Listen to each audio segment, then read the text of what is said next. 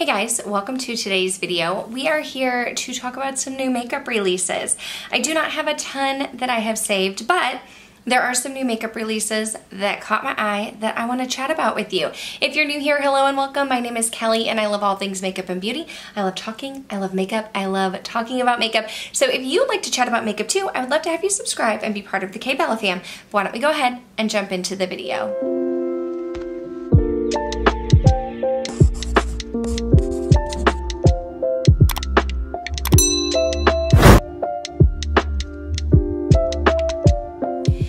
So I did mention I don't have a ton of makeup products.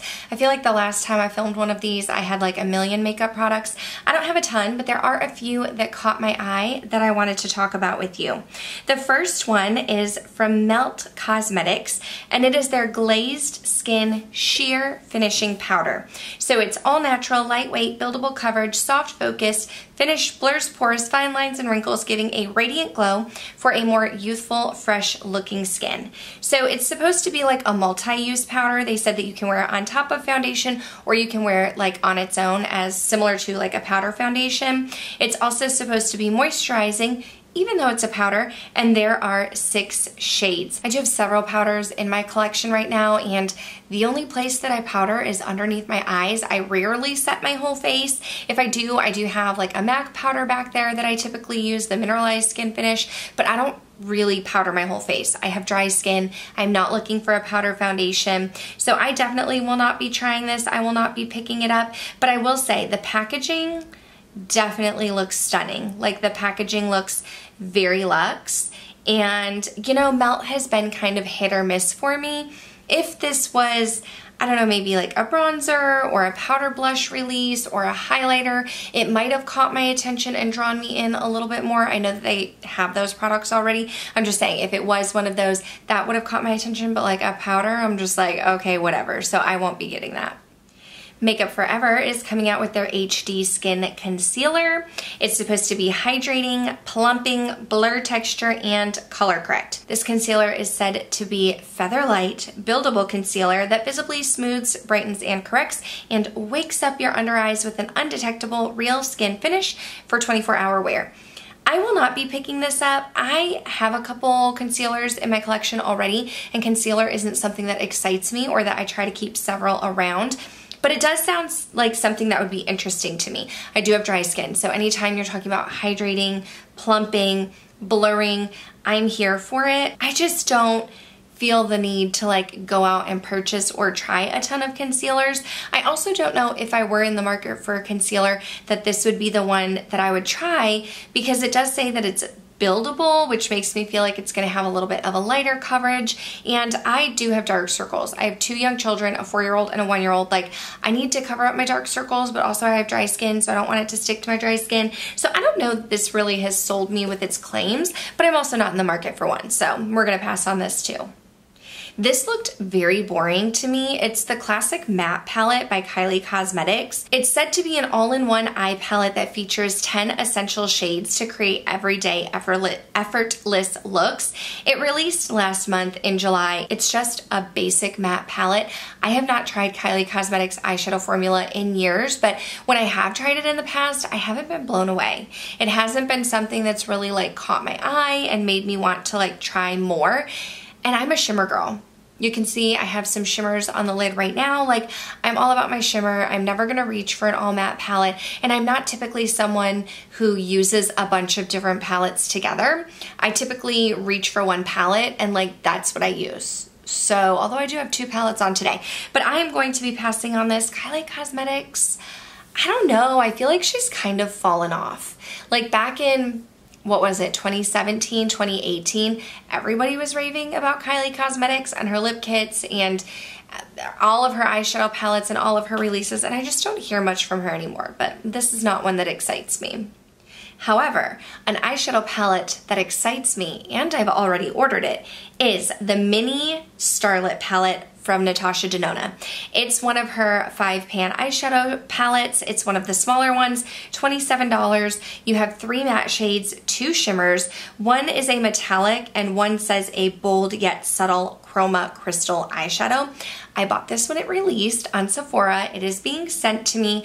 I'm very excited about it, but I'm cautiously optimistic. And the reason why I say cautiously optimistic is because I haven't been in love with her five pan eyeshadow palettes. I did have the mini sunset. I decluttered that one. I have, let me look. Okay, I thought it was the mini retro, but then I was questioning myself. I have the mini retro and I don't love this one either. I feel like the quality's not as good as her midi size eyeshadow palettes. Her midis, those are like some of my favorite. Like hands down, love the formula. I don't find this formula to be the same. You do have two shimmers here, you do have two mattes, and then this is more of a topper. But I find that I'm either using these two together and putting this on top a little bit or using these together and putting this on the inner corner. And I, I just am not reaching for this the way that I thought that I would. But I'm optimistic with this new mini Starlette because I feel like I can use all five of those together. Here I feel like I have two distinct looks. I don't typically mix the peachy shades or the pinky shades, the blush shades and the greens. But here, I feel like I could use all of those together and it's $27. So I'm excited. When it gets here, I will film with it, but I picked this up. I wanna know down below if you picked this one up too. And then of course, we have to talk about Mother Pat. Pat McGrath released another mothership. This is the Mothership 11, I believe, called Sunlit Seduction. She only drops these once a year. They're heavy duty, large eyeshadow palettes. They're like $128. I knew that this was coming.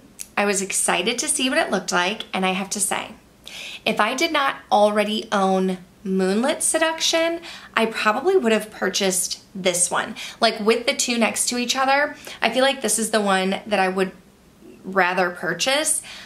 But I was gifted Divine Rose. I haven't even tried that yet. And honestly, the color story seems a little repetitive to me. The reason why I'm saying I'd be more likely to try this one is I don't love her special shades. I don't, I don't, I don't love her special shades. That is what these palettes are known for. They're known for like the Astro Blitz, the special shades, the glitter, the shine. I don't like glitter. I don't like shine. I want to twinkle. I don't want to have glitter all over my face. And so I find that those are very toppery. They get glitter everywhere and I don't love them. But I was watching my friend Leah Janae's video when she did a video using this palette. I'll link it down below and I, actually really loved it. It looked like the special shades were special and wouldn't get everywhere and they weren't chunky and they weren't just glitter, but they were shiny and sparkly. Now I feel like it would be repetitive in my collection, so I'm not going to spend the $128 to get it, but if I didn't have the other two, I definitely think I would have picked this up. Moving away from eyeshadows and into lip products, Patrick Ta has now released some silk lip creams. It looks like there are five shades. They're $26. There are also some suede lipsticks for $32 and it looks like the same five shades. So I have not tried the lipsticks. I have to be honest. I have not tried the lipsticks, but I have tried the lip creams and I really enjoyed the lip cream formula. I felt like it was very creamy, very pigmented, like one swipe and I would get boom in your face pigment but mine went bad, so I no longer have it.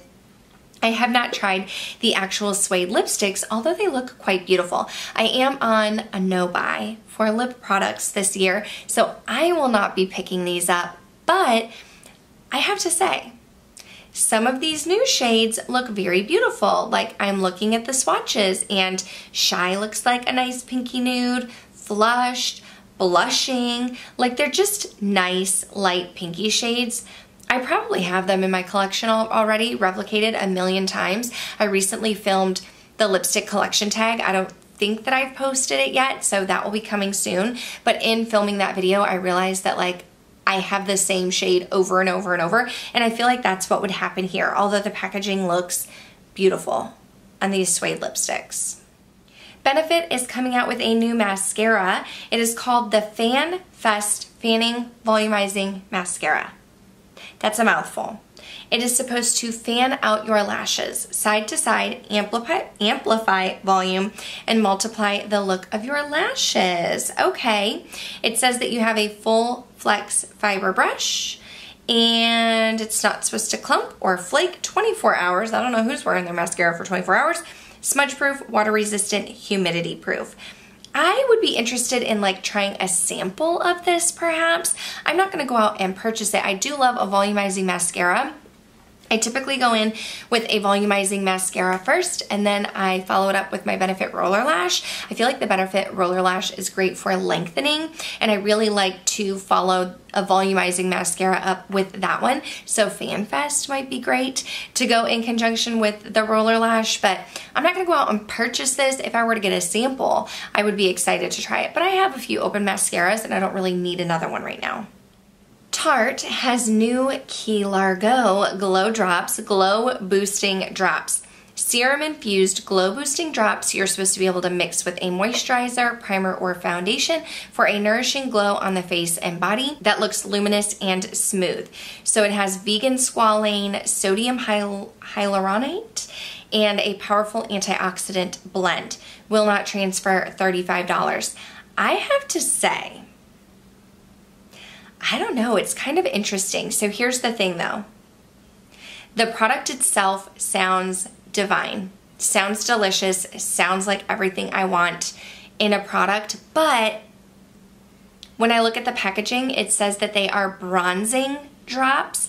And when I'm looking at the models who are using it, it is a bronzing drop. Like there is tint to it, there is a bronze tint.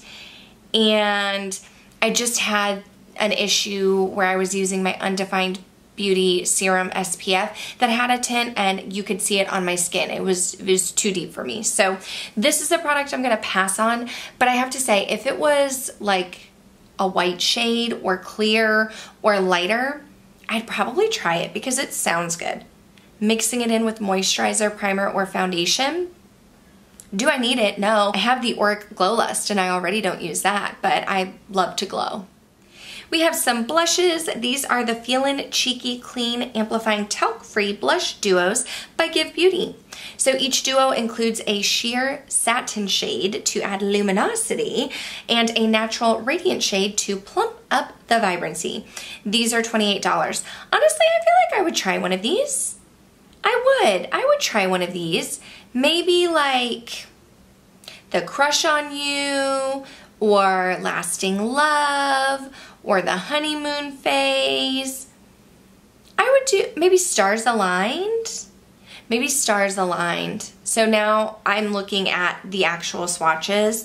Yeah, probably stars aligned or crush on you would be the one that I would want to try. I'm not going to run out to purchase it, but I'm definitely interested. I'm very into blushes right now for some reason, blushes and highlighters. I keep purchasing all of them. GXVE Beauty has not impressed me too much in the past, but I mean, I love a blush, so I could see myself trying this out. Charlotte Tilbury came out with some beach sticks. We all know these are not for me. A sun-kissed summer glow inspired by Charlotte's favorite Ibiza beaches. So you can wear them on your chicks, what?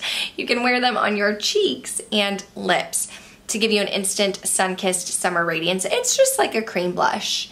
And I'm not into a cream blush, so I'm not going to pick this up. And last but not least, Makeup Forever is coming out with some new face powders.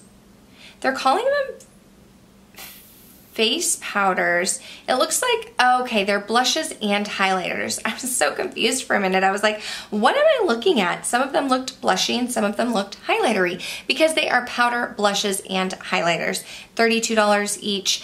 I never really got into Makeup Forever. It's not that I think these are bad or that they don't look beautiful because they do, but for whatever reason, I just don't find myself drawn to Makeup Forever products, so I won't be getting these either. Okay, but that's gonna do it for this video. I honestly just wanted to talk about the Natasha Denona palette. I wanted to talk about the Pat McGrath palette, and I just kind of wanted to go through some of the makeup items that I saw floating around there. I probably missed a ton, so let me know if there are any new makeup releases that you're really excited about or that you were really uninterested in. That's the word I'm looking for. Uninterested in. Let me know down below. Otherwise, that's to do it for this video. Thank you guys so much for watching. Make sure to subscribe before you go. That way I can see you in the next one. Bye.